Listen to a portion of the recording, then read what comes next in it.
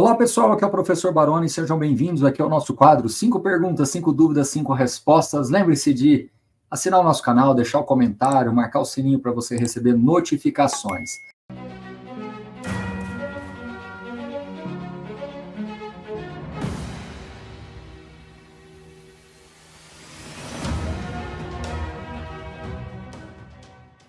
Hoje nós temos aqui uma condição bem interessante, ó. Fiz 56 off para que vocês possam acessar aqui na descrição do vídeo, vocês possam acessar esse curso de fundos imobiliários com tantos conceitos importantes. Cinco dúvidas. Olha, se eu pegar os proventos de um fundo caro e aportar em um fundo barato, é correto?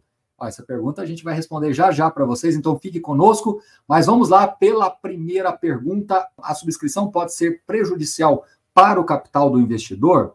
Sim, pode acontecer. Em que circunstâncias? Se essa subscrição estiver sendo feita abaixo de valor patrimonial, se os custos estiverem sendo colocados para dentro do fundo, se uh, as aquisições forem em condições piores do que o portfólio atual, aí a gente tem que analisar. Né? Às vezes, essas aquisições elas podem até ser com cap rates menores, né?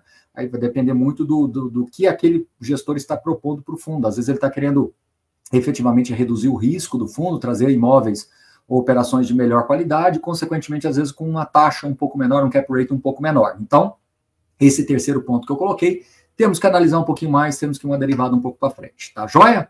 Questão número dois, para cálculo do meu preço médio em uma subscrição, considero preço mais taxa? Sempre, para cálculo de efeito de preço médio, é, é, é sempre considerado o valor da aquisição mais todos os custos envolvidos. Então, quando você está participando de uma subscrição, você paga o valor mais as taxas ali de distribuição. Então, sim, você considera para efeito de cálculo de preço médio a composição total efetivamente o que saiu da sua conta, que é justamente o preço pago e também as taxas, tá bom?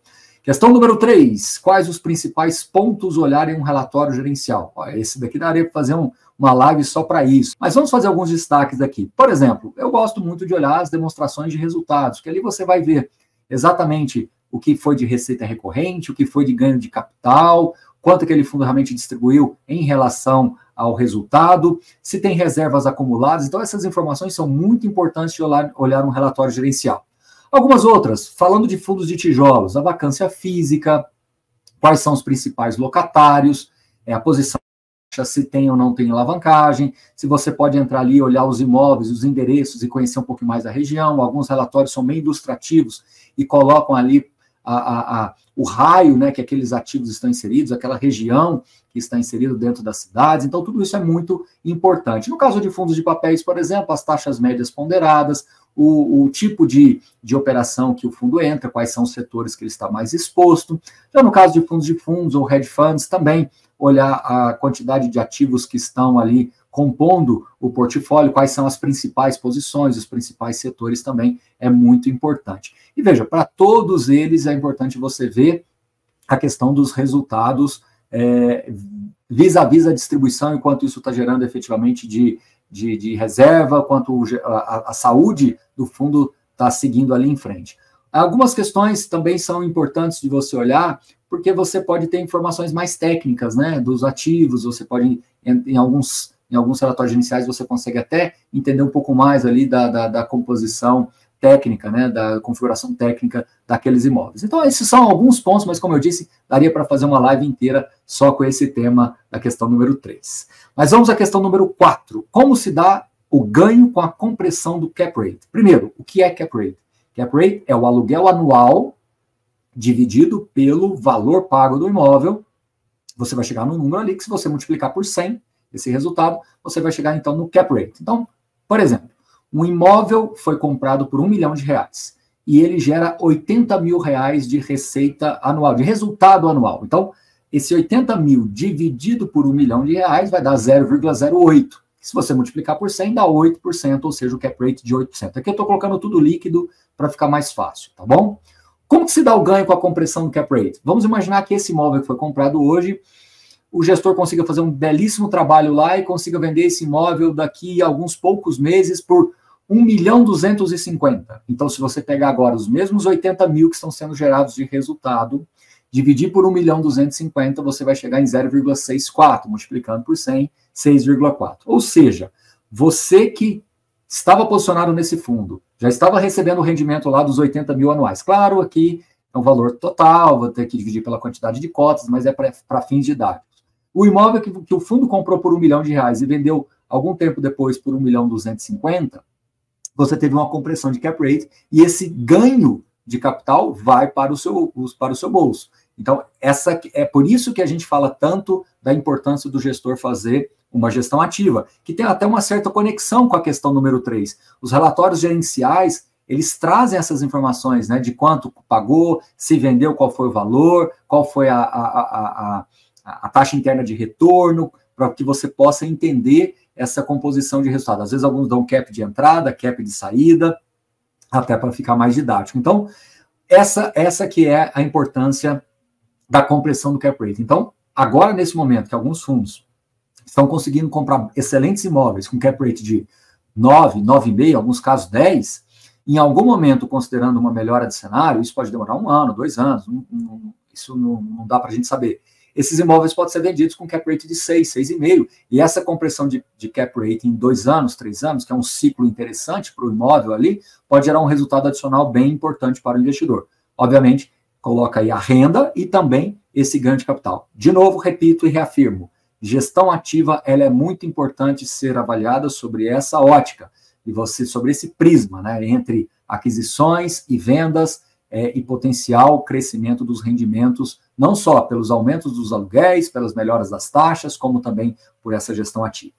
Vamos para a quinta e última pergunta, aquela que eu falei lá no comecinho, né? Se eu pegar os proventos de um fundo caro e aportar em outro barato, é correto? A pergunta, por simples, ela é difícil de ser respondida, porque Depende do que você está chamando de caro e o que você está chamando de barato.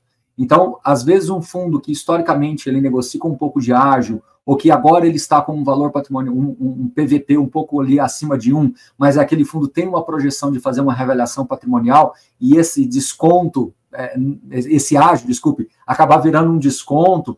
Então, a gente tem que avaliar muito bem o que nós estamos chamando de, de, de caro. E avaliar mais ainda o que nós estamos chamando de barato. O que, que você está querendo dizer que é barato? é porque o yield está muito alto, é porque o fundo está com um desconto de PVP muito alto, o fundo tem uma vacância muito alta e não está gerando renda, por que, que ele está barato? Então você tem que entender também. Então, a, a, o parâmetro exclusivamente de barato e caro, ele pode fazer com que você tome decisões de investimentos que acabe levando você a uma grande concentração em ativos que historicamente podem estar mais baratos, ou que estejam baratos por um motivo é, é sistêmico por um motivo específico de, uma, de, uma, de um setor. Então, é muito importante você, é, antes de fazer esses movimentos continuamente, avaliar bem a composição da sua carteira. Na sua carteira é importante que você tenha, que você tenha fundos que realmente sejam mais defensivos e eles às vezes terão sempre essa impressão de mais caros.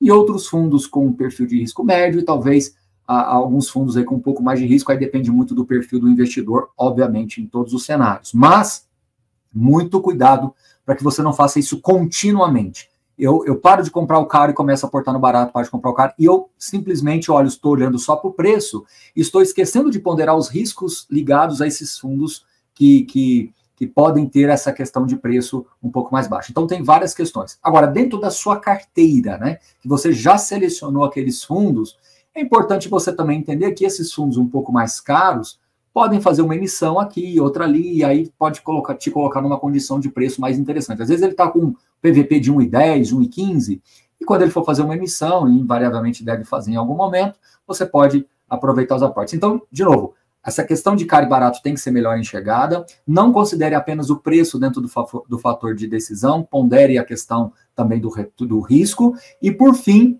cuidado com a questão de a, a, acabar acumulando muito em uma decisão direcional de investimentos. Então, você fica continuamente pensando dessa forma e agindo dessa forma, a sua carteira pode acabar te levando por um caminho que normalmente não era o que você traçou inicialmente. Então, sempre muito atento a estas questões, tá bom?